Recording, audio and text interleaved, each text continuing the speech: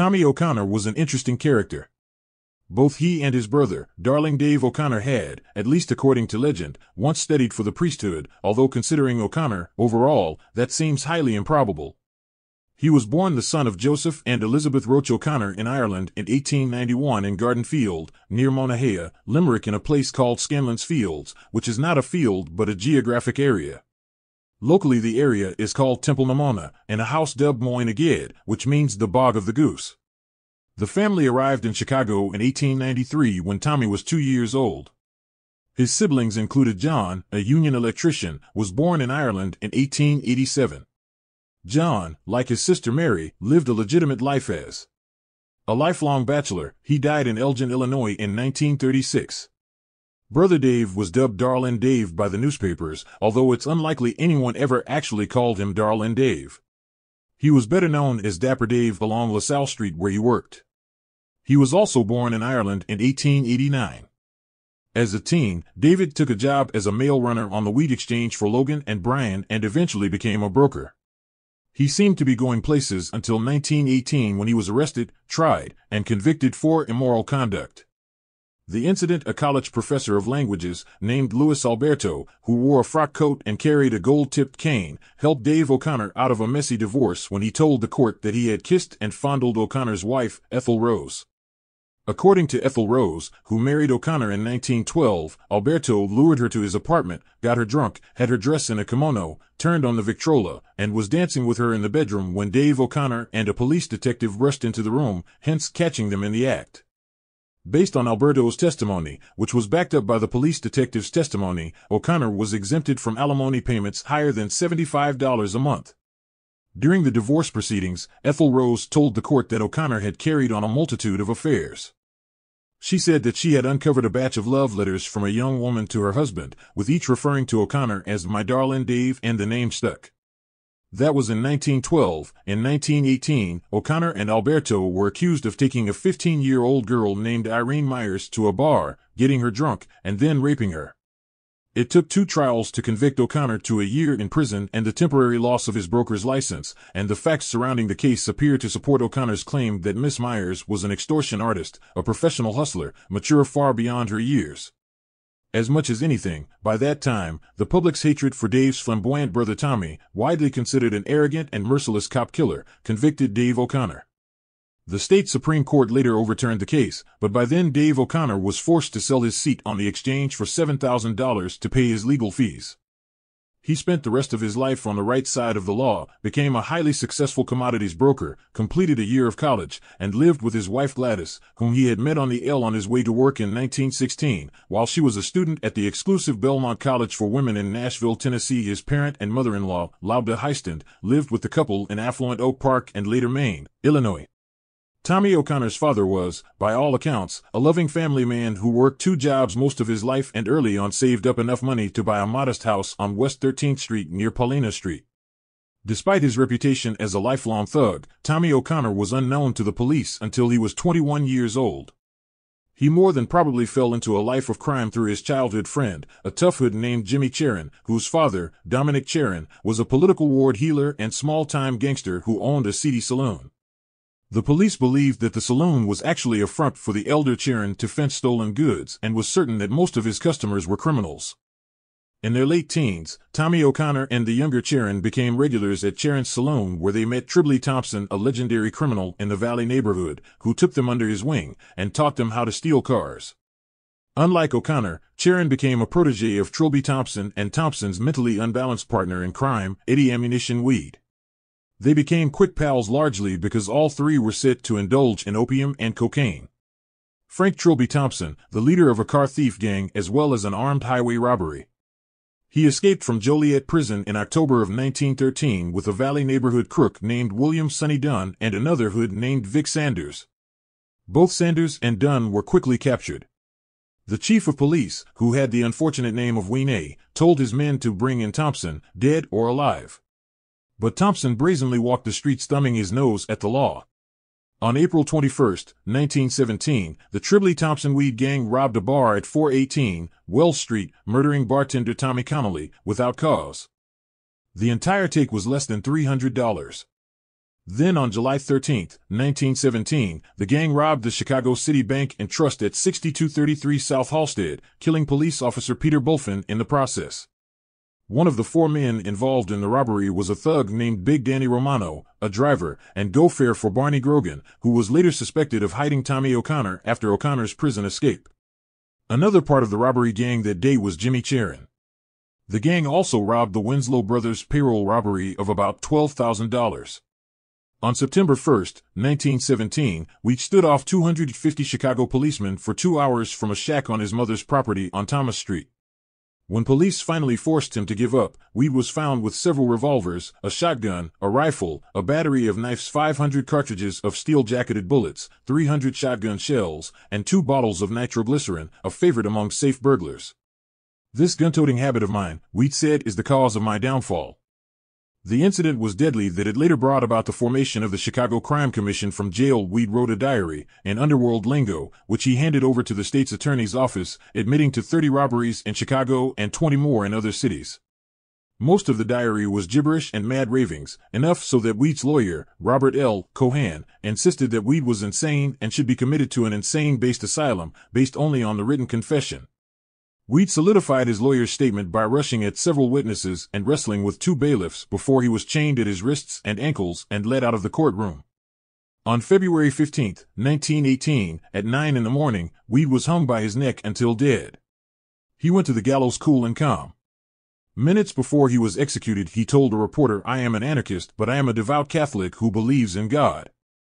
I go to church when there is no danger from the police. I say my prayers on my knees every night.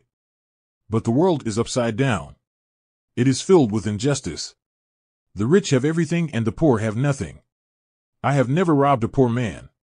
I am no cheap stick-up artist who lurks at the mouth of an alley for chance victims who may not have more than 30 cents in their pocket.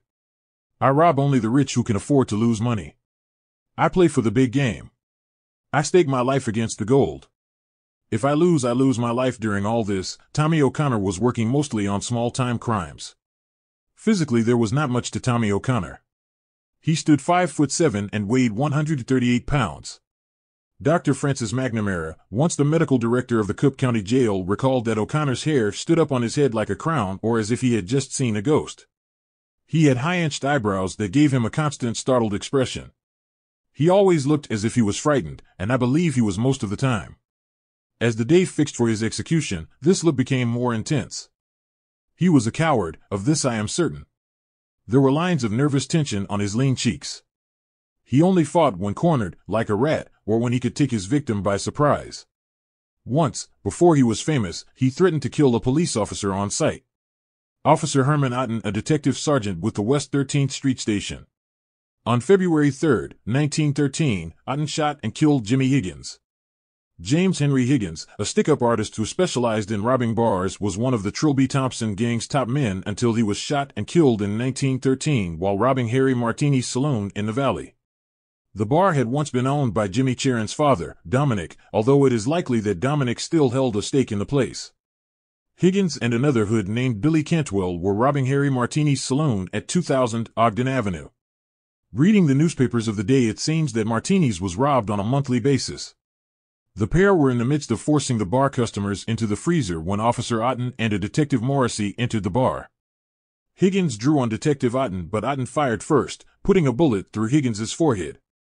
As for Billy Cantwell, the other robber, he was beaten so severely that he had to be taken to a nearby hospital. According to police, Higgins and Cantwell were paid $25 each to rob the bar by Martini's former business partners, the Gill brothers.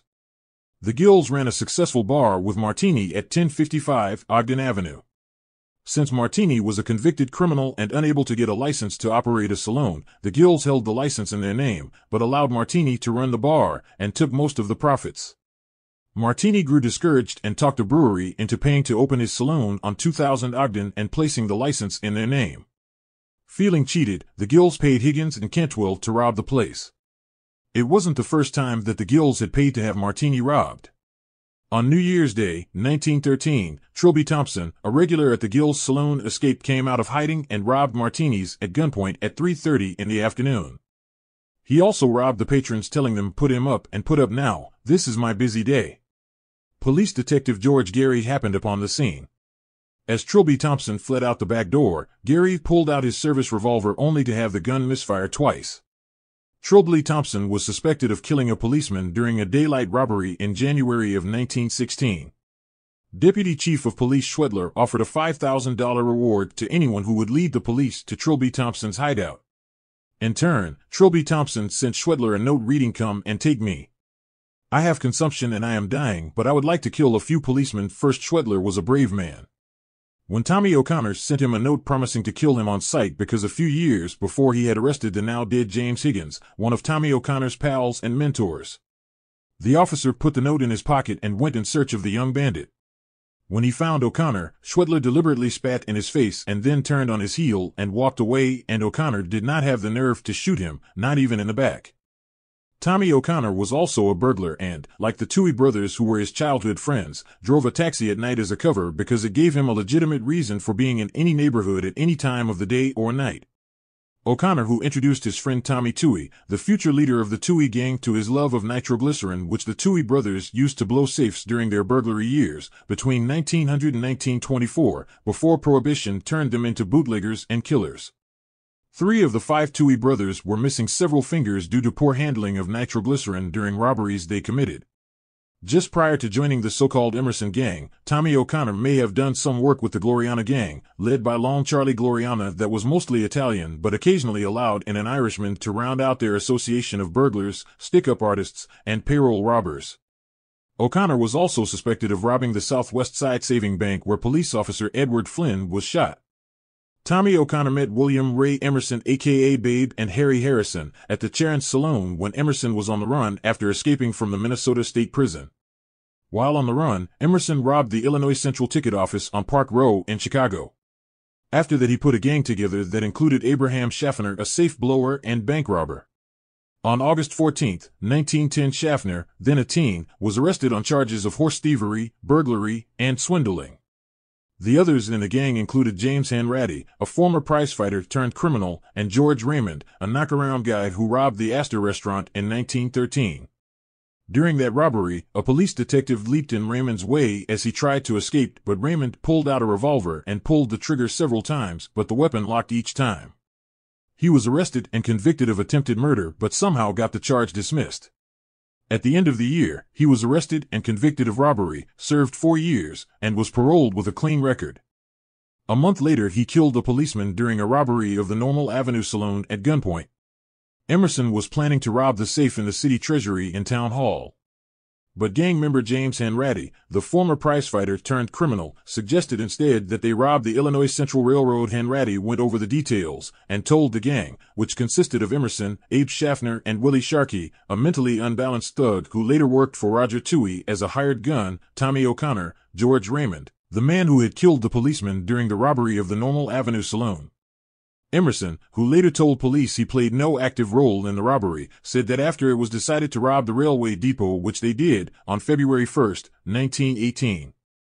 The gang decided to steal a getaway car, but that went awry so they walked to the taxi stand at Union Station and hailed a cab which was driven by an innocent man named Jimmy Pelican. The gang arrived late to the depot, at 10 o'clock. Cash collections at the depot started at 8.54 and the collection route had ended. However, they spotted a depot employee named Dennis E. Tierney, an ex-policeman and the collector of the daily ticket sales funds, carrying that night's collection through the depot alongside a guard named Quinny. Emerson said that he and Tommy O'Connor were supposed to jump the armed guard accompanying Tierney and that Raymond was supposed to handle Tierney alone. But Raymond was late, so Emerson walked up to the guard, Quinny, and put a gun to his head and searched him but found no pistol on him. Quinny's pistol was in a holster that had slid onto his back when Emerson grabbed him from behind and Emerson had only frisked the front of Quinny's body. Quinny later identified Tommy O'Connor as very nervous and whistled through most of the robbery at the same time. Tommy O'Connor jumped Tierney, the man carrying the cash, and struck him over the head with the butt of his gun and tried to wrestle him to the ground, but Tierney was considerably larger than the slightly built O'Connor and easily put O'Connor on his back on the floor. At that point, all of the robbers had their weapons in their hands. Emerson joined the fray to help Tommy O'Connor and beat Tierney over the head with his pistol. Emerson said that O'Connor finally got control of the black leather money bag and ran out of the depot just as Raymond arrived. The cash satchel was said to contain $2,500 in small bills. Another figure was $1,500. Emerson said that he and O'Connor were out of the building by then and that they heard shooting. However, witnesses said that Tierney, the clerk who had carried the money bag, staggered to his feet, drew a weapon he had hidden in his belt, and fired, and that Emerson and O'Connor turned and returned fire. One bullet hit Tierney in the upper right breast, killing him. Leaping into the waiting cab, O'Connor yelled at the driver, Get the hell out of here, and fast, if you don't want your head shot off. Emerson put then his gun to the driver's head and told him, Take orders from me, and you'll be all right. If you don't, you're a dead one because I'll croak you seconds later, Emerson said. Raymond flew down the depot stairs with Quinney, the depot guard, in hot pursuit. Raymond fell and tumbled down several stairs and Emerson leaped out of the car and pulled Raymond into the back seat and yelled for the driver to take off. At that second Quinney, the armed guard fired off a shots at them, emptying his chamber, probably grazing one of the robbers since a bloody cap was later found at the scene. Emerson returned fire and started screaming at the driver faster, and a minute later they barely escaped a head-on collision with a streetcar at Randolph and State Streets. A block after that O'Connor gave the driver $40, put the car in neutral and pushed him out onto the street, took the wheel, and floored it. As they drove away, Raymond said that I threw five slugs at the guy, meaning Tierney. And I think I bumped him off. A few years later, corrupt newspaper reporter Jake Lingle would also be murdered not far from where Tierney fell dead. Emerson was renting a room in a boarding house at 4140 West Monroe Street run by Mrs. Tilly Sullivan, who had once been arrested for her role in a bank robbery that included a very young George Bugs Moran. The gang gathered at Sullivan's boarding house and divided up the loot on the kitchen table in front of Mrs. Sullivan. They each tipped Mrs. Sullivan $10 and let her keep the coins from the robbery, and then they split up, each $350 richer. Emerson and Raymond spent the night at the home of gangster Big Tim Murphy after stopping to have chop suey at a restaurant on Paulina Street. Emerson said that Raymond was a friend of Murphy's and that Raymond said to Murphy, Well, I guess I croaked a guy tonight on February 3, 1918. After a vicious gun battle that left two policemen dead, George Raymond was killed by police after a tip led them to the gang's hideout on 4140 West Monroe Street. There the police found the black leather bag taken from Tierney at the depot. Arrested on the spot were Raymond's friend and partner in crime George Bugs Moran and the gang's leader, Emerson. Emerson was eventually tried and convicted and was sentenced to 30 years in prison. While he was in custody and already facing a long sentence in Minnesota on a different charge, Emerson probably tried to cut a deal and started naming names, and one of the names he gave was George Raymond, but then he found out that Raymond was dead and the cops wanted Tommy O'Connor. So Emerson pointed the finger at Tommy O'Connor for killing Tierney and beating Quincy the guard at the depot. Emerson told a good tale. He said that prior to robbing the ticket office, he had warned O'Connor not to bring a weapon on the job. According to Emerson, it was O'Connor who turned and shot Tierney in the chest, killing him. What did you do that for? Emerson said, asked O'Connor. Because I felt like it, O'Connor was said to have replied, and then stuck the pistol in Emerson's ribs and said, If you don't like it, I'll give the same to you. He added that he believed that O'Connor had panicked. Lack of color and drama were not lacking in Emerson's tale. Emerson was the only person to accuse O'Connor of firing the fatal shot. On November 12, 1918, O'Connor, the most wanted man in Chicago, was arrested during a robbery and promptly offered to cut a deal with the police. He said he would finger Harry Emerson as the cop killer, but the state's attorneys turned down Tommy's offer. They already had Emerson pointing the finger at O'Connor and O'Connor, and the yes of the law was a much larger catch than Emerson and they told O'Connor as much. Released on bond, O'Connor decided that Emerson had to die before he, O'Connor, went on trial. Supposedly, and there are many versions of the story, O'Connor asked his pal Jimmy Cherin to visit Joliet prison where Emerson was being held and stab him to death with a knife, claiming self-defense. The second most popular version of the story is that O'Connor told Sharon to take $200 in cash to Bugs Moran, who was in jail with Emerson, as a down payment for the assassination of Harry Emerson. Sharon, his father said later, refused the offer, telling O'Connor that he had promised his father he would go straight, so O'Connor killed him. Or so his father, another common criminal, said and added that O'Connor bullied his son into a life of crime. But young Cherin, the peacock of the underworld, and the bad boy of the West Side was a far cry from a weakling who could be pushed around by tiny Tommy O'Connor. In fact, Considering Charon's willingness to use his sizable brawn and fists in any circumstance and O'Connor's weak knees and small stature, it was the other way around. Charon had already had a very long criminal record that included a stint at Bridewell Prison when he started robbing with O'Connor. Charon was widely hated in the underworld because of his habit of agreeing to 1% of the take from a burglary and then demanding a larger share after the job was done. If the other half refused, Charon clubbed them and in some cases, shot them. Charon's first arrest came in 1911 when he was 13 years old. A year later, on December 18, 1912, when Charon was 114, he was identified by over 15 witnesses as the kid who held up a cigar store at 2002 West 12th Street at gunpoint and escaped with $1,500. Sharon's intended victim seems to have been a big-time gambler named Jacob Goldman. Apparently, Sharon, who lived with his father at 1121 South Lincoln Street. Sharon's father's saloon was on the first floor. He followed Goldman into the cigar store and decided to rob the store as well. The papers reported that Charon's father was indignant at the assertion by the police that his son was a stick-up artist despite the fact that young Charon had already served at least one term in the Bridewell prison for sticking up 25 men at one time and racked up another 20 arrests overall. Jimmy Charon got away with most of his minor crimes because the cops liked him, and because his father Dominic Charon was a municipal court bailiff and part-time crook and local political figure who was willing to pay off to keep his son out of jail. When that failed he fixed the records for him or called in a favor from the cops to let his son walk away from a charge. He blamed all of his son's deadly habits on the neighborhood he raised him in. But the cops and judges were growing tired of looking the other way. Jimmy the Peacock, they said, was out of control. Then Jimmy's girlfriend, Adelaide, got pregnant and Jimmy married her. He told his new wife and his father that he had decided to settle down and go legit. It was a lie, of course. Charon went into gambling instead, which he deemed to be a step up from armed robbery.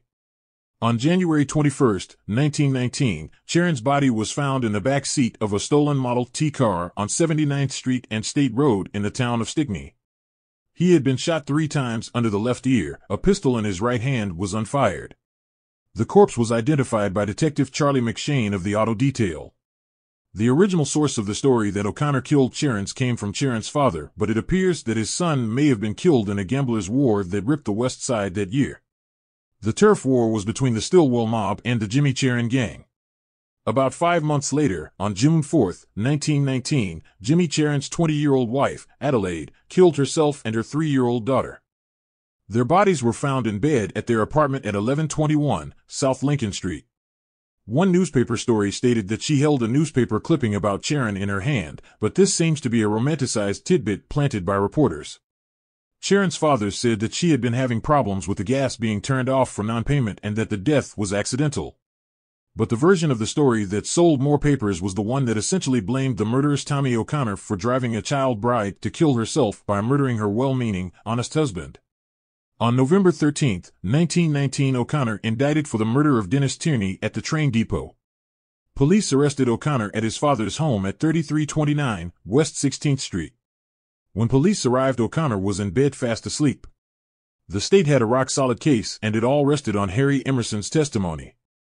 Four days later, on November 17, 1920, Harry Emerson, who had already escaped from the Minnesota State Prison, escaped from Menard State Prison in southern Illinois while being transported to a hearing in Chicago. Without Emerson, the state had no case against O'Connor, and so on April 9, 1920, O'Connor was acquitted of the murder of Dennis Tierney. Aside from a missing key witness, somehow, O'Connor's defense managed to produce three witnesses who swore O'Connor was with them in Houston, Texas on the day of the shooting. As soon as O'Connor was acquitted, he was indicted for his role in the depot robbery. Using his own criminal connections, Jimmy Charon's father learned that Louis J. Miller was his son's actual killer and would be arrested later that day. So the elder Charon kidnapped Miller from a Montrose Avenue saloon and brought to police headquarters where he was booked for the murder of Jimmy Charon and where, after a beating, he swore that he had seen Tommy O'Connor gun down Jimmy the Peacock. In his first statement, Miller, a Valley Hood, told the same story about the Charon killing that Charon's father had been telling people. He said he was sitting in the front seat of the car. The three of them were laughing and joking when suddenly O'Connor stopped laughing, turned to Jimmy the Peacock, and pumped three shots from an Army service revolver into the young man's temple. He said Jimmy the Peacock died immediately. He then added that O'Connor barked at Miller to drive to Stickney, a town just south of Chicago, and find an empty ditch where they would dump the body. Miller did as he was told. Based on that miraculous testimony, detectives picked up Tommy O'Connor and booked him for the murder of Jimmy the Peacock Cherins based on Miller's statements. O'Connor was able to post a $45,000 bail, which was the largest bail ever required in Chicago at that time. O'Connor disappeared as soon as he was released. On March 23, 1921, Detective Sergeant Patrick O'Neill got a tip that O'Connor was hiding out at the home of his brother-in-law, William Foley, married to O'Connor's sister Mary, at 6415 South Washtenaw Avenue. The first official version was that five police detectives circled the house and Officer O'Neill called inside for Tommy to surrender. According to the police, O'Connor burst through the door, guns blazing, and yelled, Well, I'll get one of you anyway, and then fired five shots. Officer O'Neill was standing in the center of the yard and was taken off guard by the suddenness of the attack. O'Connor cut him down before he could point the pistol in his hand and fell dead. Detectives Tom McShane, Joe Ronan, and William Finn started shooting the very second O'Connor raced out the door. At that second, the police drew their weapons and fired. Badly rattled the detectives stood over O'Neill's body weeping Joe. Joe! Oh, God! Meanwhile, Tommy O'Connor leaped over a fence at the rear of his sister's yard and ran towards 63rd and Western where, at gunpoint, he leaped into a checkered cab and was driven a mile before leaping out. He then commandeered another car driven by a man named William Condon who drove O'Connor to Stickney where one of his O'Connor's friends ran a saloon. There he was provided with clothes and food. Exactly what actually happened on that back porch will never be known. The police officer's version of O'Connor bursting through the door shooting seems highly dramatic and very much out of character for O'Connor, who was, to put it simply, something of a coward when it came to a fair fight. The police and a dozen witnesses all agreed that the police and O'Connor were less than 15 feet away from each other and that the police were grouped closely together, yet only one bullet of the five O'Connor was said to have fired struck only Officer O'Neill. It appears that what actually happened was that O'Neill led three detectives up to the front door, their pistols were drawn, and a fourth detective circled around the front of the house. O'Connor walked out onto the porch and asked Officer O'Neill what he wanted, and that was when the shooting started. Witnesses said that the detectives behind O'Neill pulled their weapons and accidentally killed O'Neill, and that the fourth detective, who had gone around the other side of the house, ran towards the other men, firing wildly.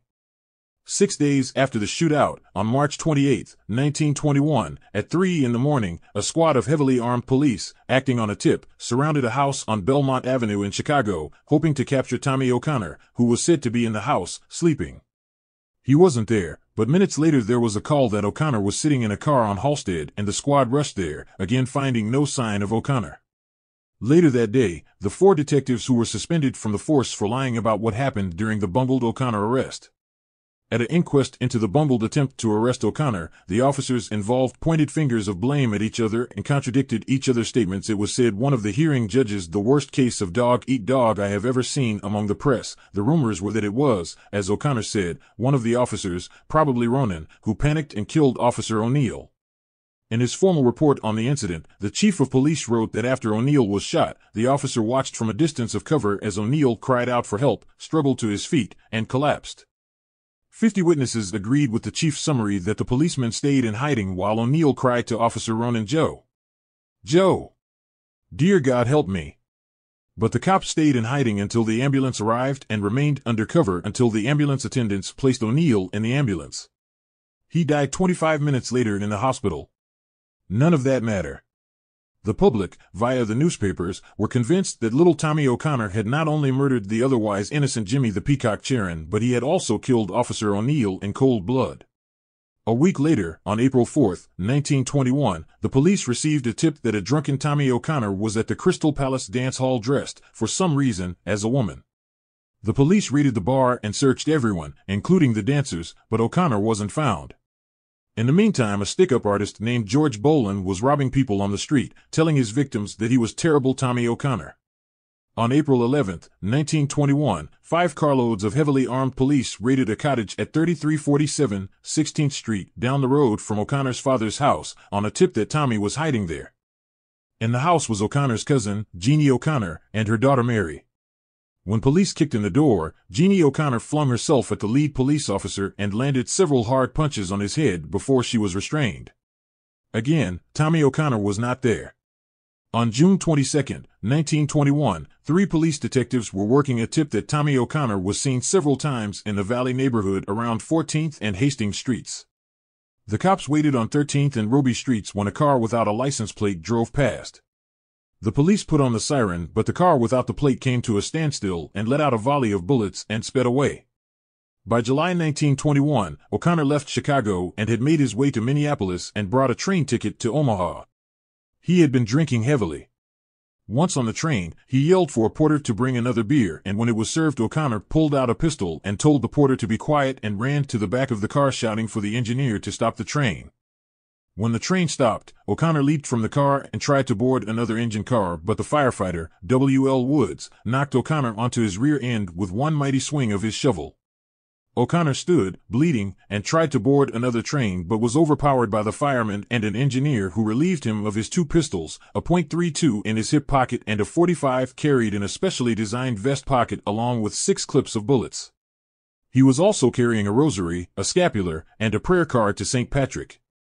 In O'Connor's view of events, he said that I got drunk and fell into a quarrel with a porter and fell off the train. The police furnished the three guns. I never had them on me, I would weigh a ton if I did. It was the Minneapolis newspapers that named O'Connor Terrible Tommy, causing O'Connor to complain what right did the Minneapolis newspaper have to call me that? I've been made more notorious than Jesse James. On July 30, 1921, a squad of heavily armed detectives was sent to St. Paul to bring O'Connor back to Chicago. It was an illegal transport, but since O'Connor was an alleged cop killer, no policeman in Chicago or St. Paul really cared about his civil rights. However, the state of Minnesota was charging O'Connor with an earlier payroll robbery and wanted him to stay in their state to stand charges. But the Chicago cops took O'Connor out of the city with such speed that the city attorney, Floyd Olson, formally charged Chicago Chief of Detectives Hughes with kidnapping.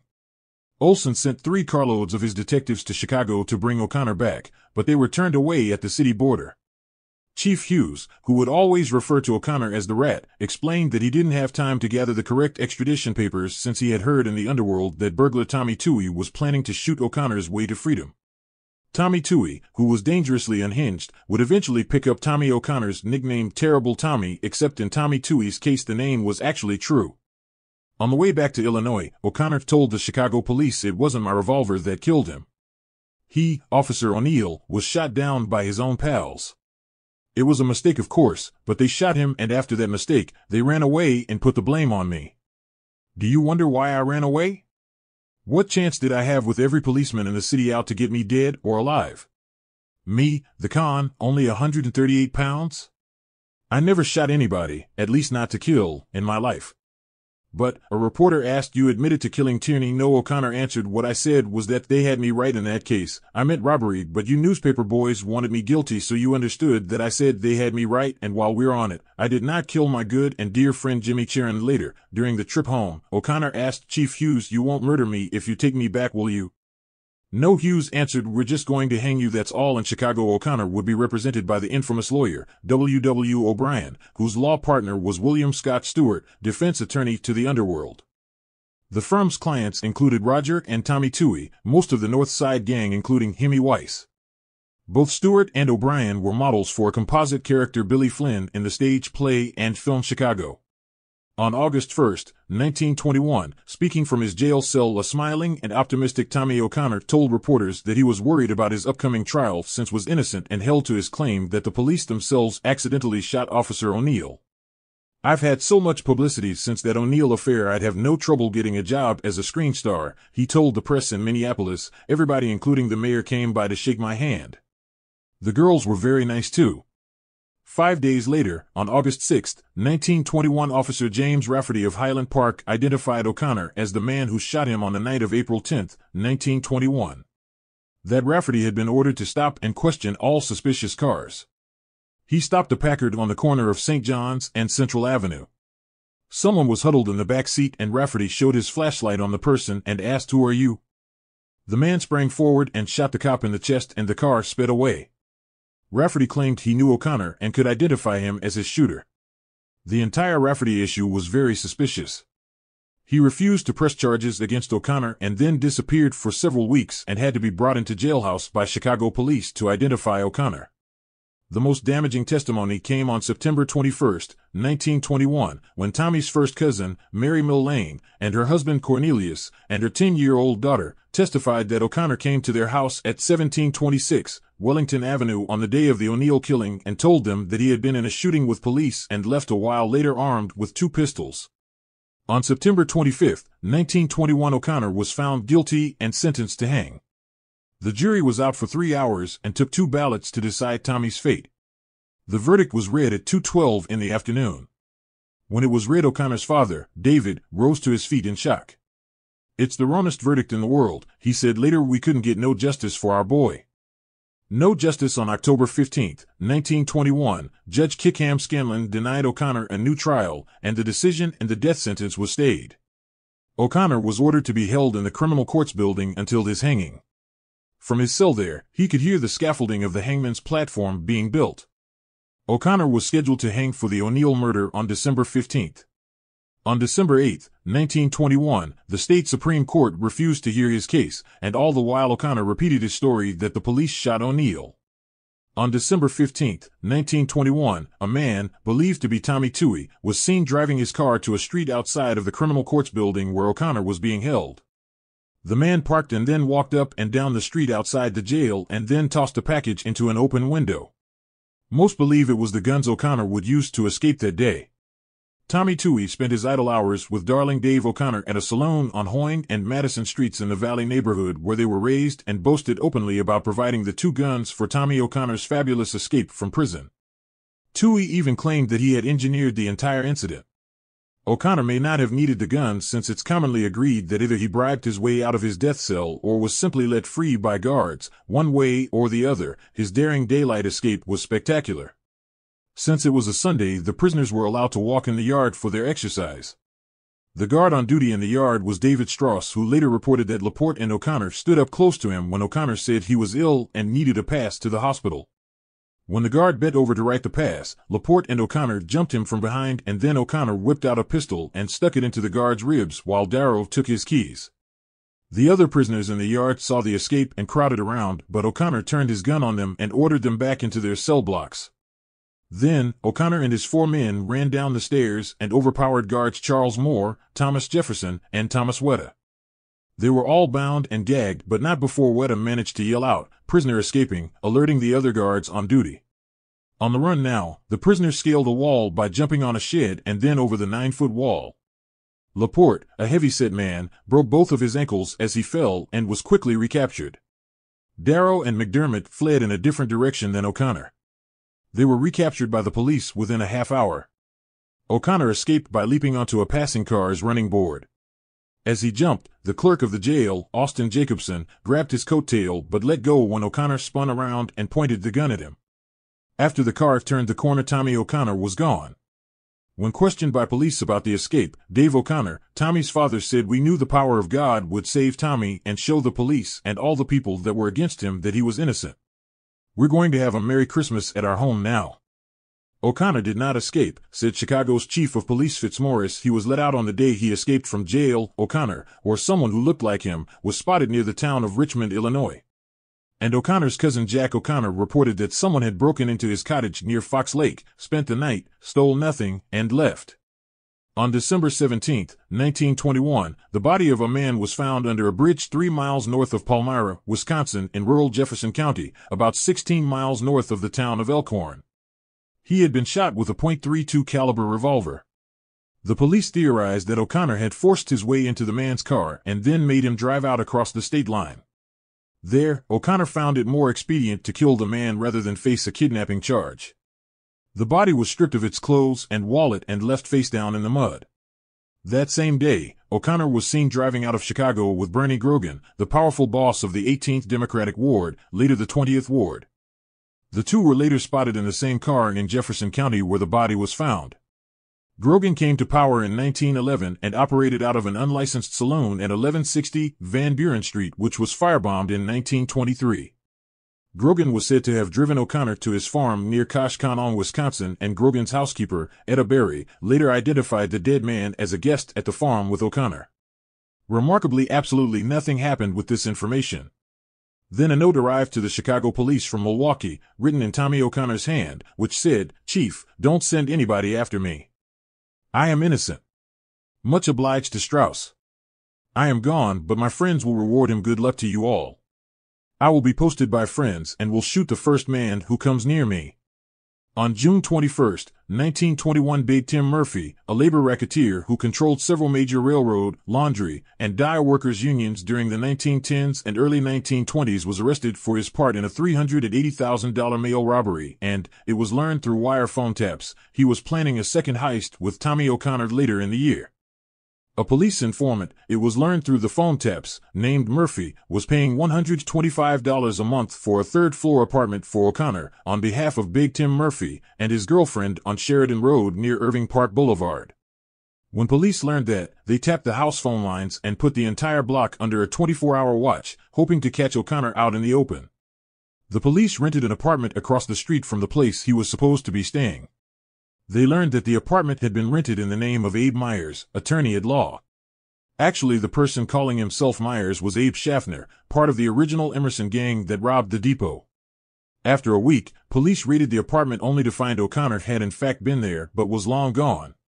Murphy was eventually convicted and sentenced to seven years in prison for the robbery. On June 26, 1928, Murphy was shot and killed as he answered the front door of his home. On December 19, 1921, a note arrived for Harold or Wackham, a wealthy owner of a fruit packing company. He had placed a public reward of $100 to anyone who would lead the police to Tommy O'Connor. Someone placed a hand-delivered note in Wackham's mailbox telling him that if he didn't withdraw the offer he would be killed. Although police suspected a local crank of writing the note, Wackham was given round-the-clock police guards anyway. A day later, December 20, 1921, police in Louisville, Kentucky identified a man who had leaped to his death from a bridge into the Ohio River as Tommy O'Connor. A detective from Chicago later disregarded the claim because the corpse had a long, jagged, and very old scar on its right hand which O'Connor did not have. On January 3, 1922, Alec Portman, a train brakeman, identified Tommy O'Connor as the man who boarded the engine car of a train and tried to rob it near Holden, Iowa. Portman struggled with the gunman and tossed him from the train and the robber fled. That same week, on January 11, 1922 on March 18, 1922 Iowa police suspected that O'Connor was behind a rash of bank and postal robberies across the state and the U.S. Secret Service confirmed that O'Connor was linked to the robberies as well and that was the last that was ever heard of it. A few months later, Police, acting on a tip that O'Connor was working as a cook in a railroad camp near Carlinville, Illinois, raided the camp and arrested a man named Sullivan, whom, they assured the Chicago police, was O'Connor. It was not. On April 18, 1922 Detroit police arrested John Kelly, another O'Connor look-alike. Chief of Detectives Hughes drove to Detroit only to discover that the police had arrested the wrong man. In May, a man named John Drexel walked into the LA police headquarters and said that he had been one of Tommy O'Connor's getaway drivers during O'Connor's escape from prison. He said O'Connor used several getaway cars. He was held, determined to be insane, and released. On July 4th of 1922, a woman called the Chicago police and said that O'Connor was having a drink at Halsted and North Avenue. Dozens of police officers rushed to the site but O'Connor wasn't there. In early December of 1922 Tommy O'Connor was reported to have been seen in Detroit and Gary, Indiana, in an apartment at 518 Washington Avenue, rented by a man named John Rees where Chicago detectives, led by Detective John Ronan, raided an apartment, and according to them, they missed O'Connor by only moments. On December 10, 1922, O'Connor was reported to be in the town of Elkhorn, Wisconsin where, 11 years later, a drunken Roger Touhy and his gang ran into a telephone pole. A local policeman searched their car, found a small armory, and phoned the FBI, who promptly arrested Touhy and company for the kidnapping of St. Paul brewer William Hamm. On September 21, 1923, a man was held in Carlinville, Illinois on suspicion of being Tommy O'Connor but was released and two months after that, on November 22, 1923 O'Connor was said to have been spotted in Texas by a man who said he recognized O'Connor from his photo in detective magazines. In 1924, a man named Mays found out that the man his daughter married was not named Ryan as he had said, but O'Connor. Ryan said he changed the name because he too was originally from Chicago and knew that he bore a striking resemblance to Terrible O'Connor so he changed his name to Ryan. Further, Ryan said he knew O'Connor and was a friend of his and had visited him at the jail three days before his escape. Even more incriminating, the man had recently sold an unregistered revolver at a pawnshop. The most interesting claim came on January 29, 1927, when two Chicago hoods drove to Detroit and started a robbery campaign. The police found them as they were staging the last of 17 robberies that day. Six policemen gunned it out with the pair. One policeman was killed, and another seriously wounded. The shootout took place in front of the Garden Court Apartments on East Jefferson Street. The two gunmen entered a drugstore and demanded everyone present to lie down on the floor. However, one person, the store clerk, crawled out of the store through the back and phoned the police. Officer Stacy Misner and Officer Edward Goering walked into the store and said to one of the robbers, I understand there has been a stick up here. Yes, there has. One of the robbers responded, Come back this way. Officer Goering stepped forward and the robber stuck a gun in his ribs, but Goering grabbed the gun and as the two men struggled, the second robber shot Goering in the back. Officer Misner opened fire and the two gunmen returned fire hitting Misner three times and killing him instantly. The robbers fled out the back door, but another policeman was waiting for them and fired three shots into one of the robbers, a man named Martin Dale.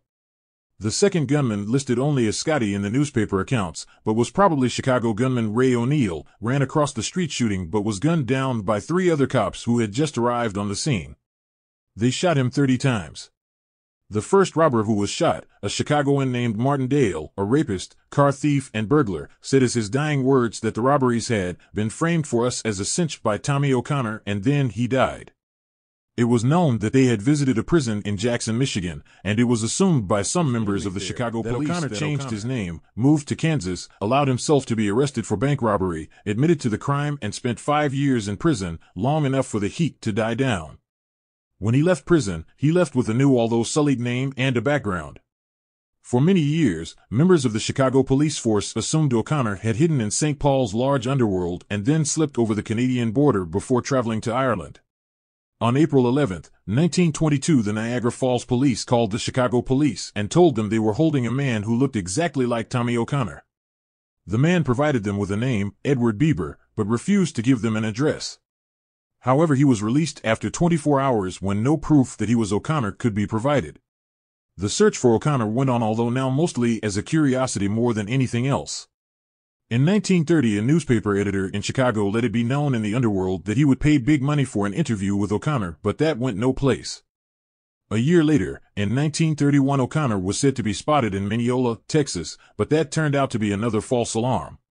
In 1933, he was reported in the press to be running Roger Touhy's kidnapping squad. In 1959, Tribune reporter John Gavin also reported that O'Connor was working with Roger Touhy.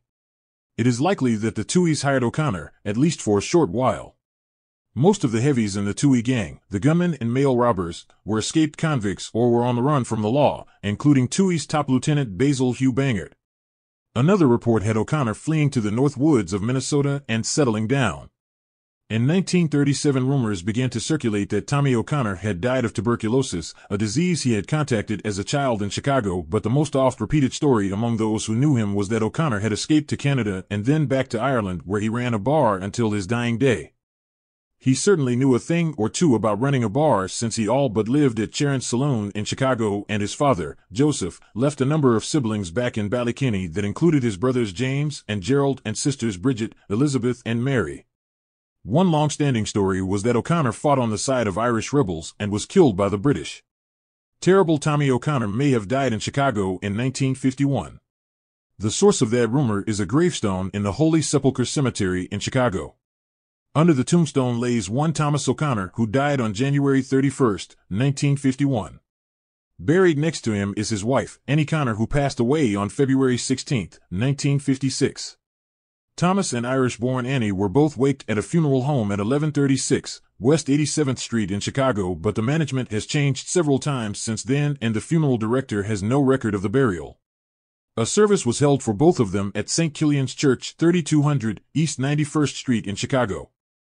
The cemetery lists Thomas O'Connor's date of birth as March 10, 1880 in Ireland in the village of Kilcolman, Limerick, which is about a 20-minute car ride from Tommy O'Connor's birthplace in Monagea, Limerick.